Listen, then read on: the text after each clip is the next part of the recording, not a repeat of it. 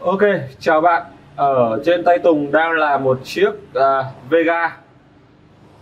Đây là hãng Vega của Asus này. Các bạn thấy tên khách hàng này. Giang Ninh Bình, quay tít thò lò. Các bạn thấy giá tiền này.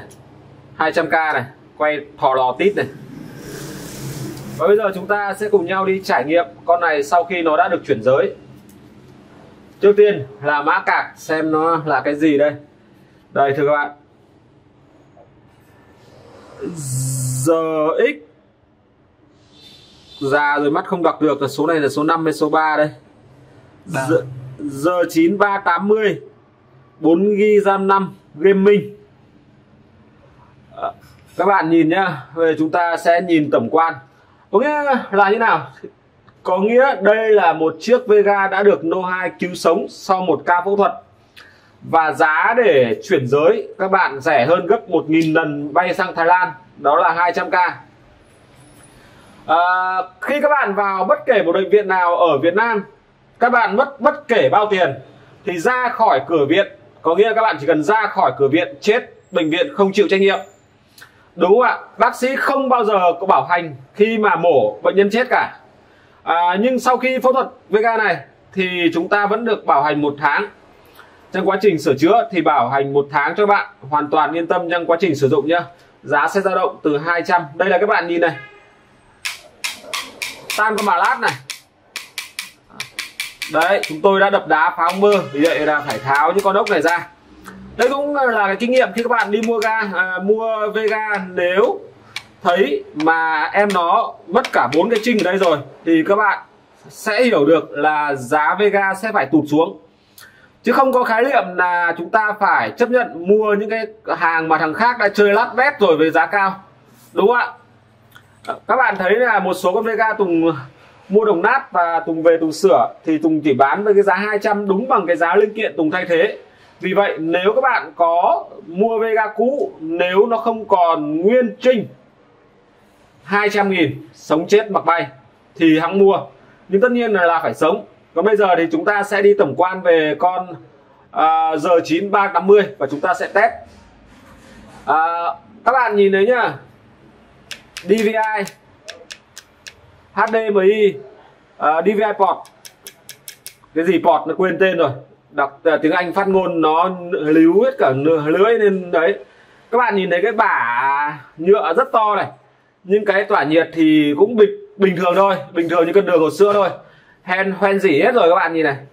Mà mình cũng chưa tra xem cái năm sản xuất của Vega này là bao nhiêu.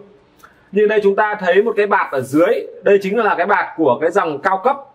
À, có nghĩa là nó cao cấp lúc nó sinh ra còn bây giờ nó là thượng cấp, hạ cấp, trung cấp hay gì cấp thì kệ xử nó.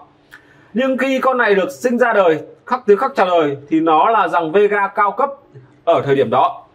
Đây, vì vậy nó có những cái bạt ở đây để cách ly cái phần linh kiện với những cái phần bên ngoài, chuột, rắn, bọ, tất tần tật. Tất tần tật, các bạn có làm gì trước cạc Vega bắn tứ tung cũng không chết được cạc chính là như thế.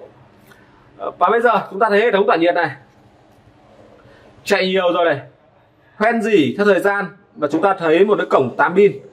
Quan trọng nhất chính là hiệu năng của em nó sau một lần bị Noai đè, sấp đè ngửa ra hàng tiếng đồng hồ chơi vật vã. Bây giờ chúng ta sẽ cùng đi test. Với những chiếc Vega như này thì chúng ta tối thiểu yêu cầu là nguồn 500W đổ lên. Các bạn hãy chiến, không là chưa đi đến chợ, đã hết tiền, nó phí ra. Bây giờ chúng ta cùng test một con Vega đã mất đi và phải mất 200.000 để phẫu thuật. Bắt đầu. Okay. Ok bây giờ chúng ta sẽ cùng nhau test đó là chiếc cạc AMD G9380 à, Như các bạn đã biết là ở đoạn đầu video chúng ta nói Bây giờ nhá các bạn test full max này. À, Chế độ test nó luôn luôn mặc định là 7680 x 480 Cái chế độ mà test có thể giết chết Vega bất kể lúc nào Trong quá trình chạy và cũng có thể đánh chết một cái nguồn của các bạn luôn. À, các bạn nhìn thấy là cái tỷ lệ Đầu tiên chúng ta sẽ bàn về vấn đề nhiệt độ. À, Nhiệt độ Vega thì tùy từng con chip và tùy từng cái cảm biến nhiệt độ con chip. Có những chiếc Vega mà cái cảm biến nhiệt độ có thể lên đến One hour later. 80 80 độ C không có vấn đề gì cả. À, nhưng có những con chip mát mà cái cảm biến nhiệt độ nó không nhạy nữa thì nó chỉ ở cái trạng thái là sấp xỉ 60 nhưng con này ở trạng thái sấp xỉ 60 độ là ok nhá.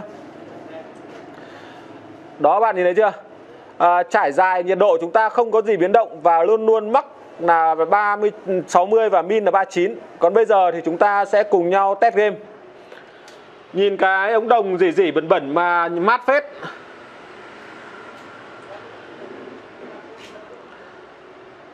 Các bạn đợi một chút chúng ta sẽ vào game test.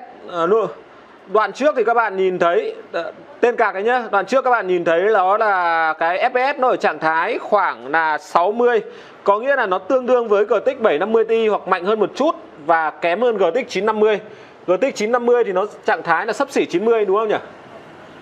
Còn bây giờ thì chúng ta sẽ test Kodoroti à, Chúng ta sẽ cùng xem. Như các bạn đã biết là cấu hình tối thiểu để chơi cái game này Đó là i5 à, RAM 12GB Và cạc tối thiểu là GTX 750 Ti đổ lên. Ở đây chúng ta đang kéo mức nào đấy Dương?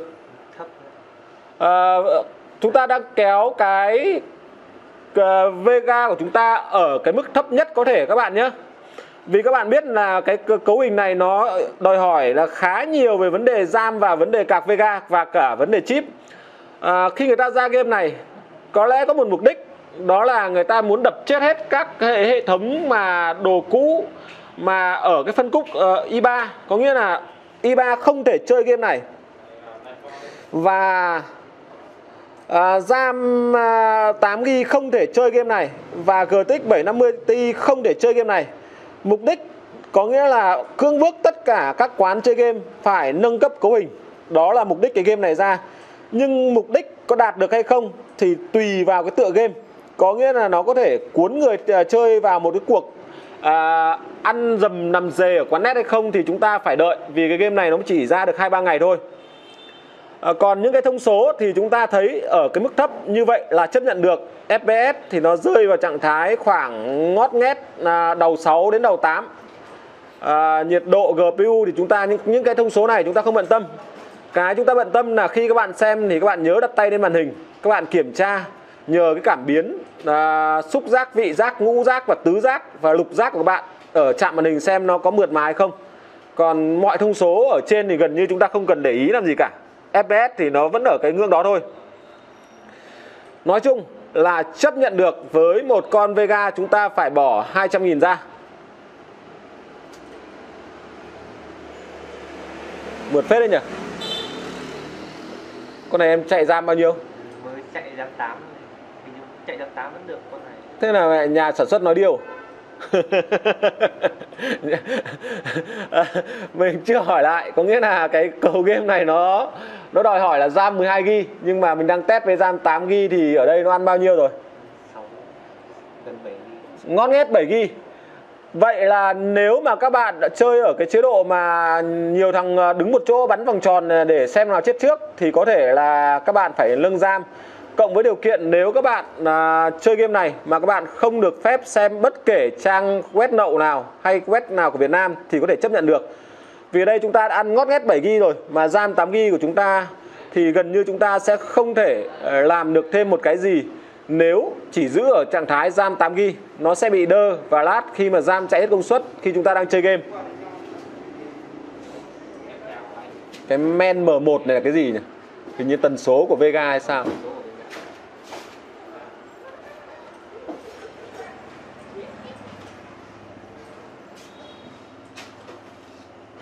Ok và các bạn nhá.